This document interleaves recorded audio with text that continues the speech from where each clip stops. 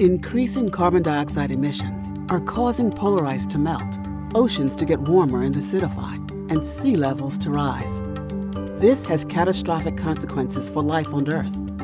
Fortunately, our planet has natural ways of absorbing some of this atmospheric carbon. Like forests, oceans take up CO2 from the atmosphere, capturing about one third of global emissions. Marine plants and animals, like seagrasses and oysters, play a key role in our ocean's capacity to absorb and store carbon dioxide. Oysters are also incredible natural water filters. An individual oyster can filter pollutants from 50 gallons of water in a single day. Not only do oysters aid in carbon sequestration and filter water, they build extremely strong reefs that protect our shorelines from extreme weather. For example, scientists estimate the damage from Hurricane Sandy would have been significantly less had all the oyster reefs once protecting the United States eastern shoreline still been intact.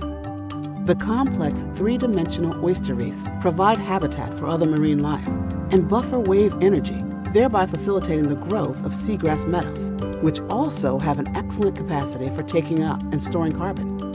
But due to coastal development, dredge fishing, and warming waters, we are wiping out the once vast seagrass meadows and oyster reefs at a devastating rate.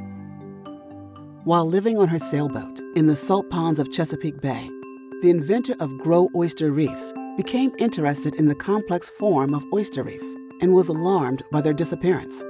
After two years of experimenting, drawing, and photographing, she came up with a plan to foster reef growth by creating modular systems that emulate the specific natural conditions that oysters need to grow and thrive. The GROW team has created modules made of calcium carbonate infused concrete that mimic the chemical composition of the adult oyster shell. This provides early stage nutrition and chemical cues to the oyster larvae, signaling a safe haven. The system emulates the oyster reef's natural, complex three dimensional structures, making water slow down in between spaces and given the larvae a chance to cling to the rough surfaces.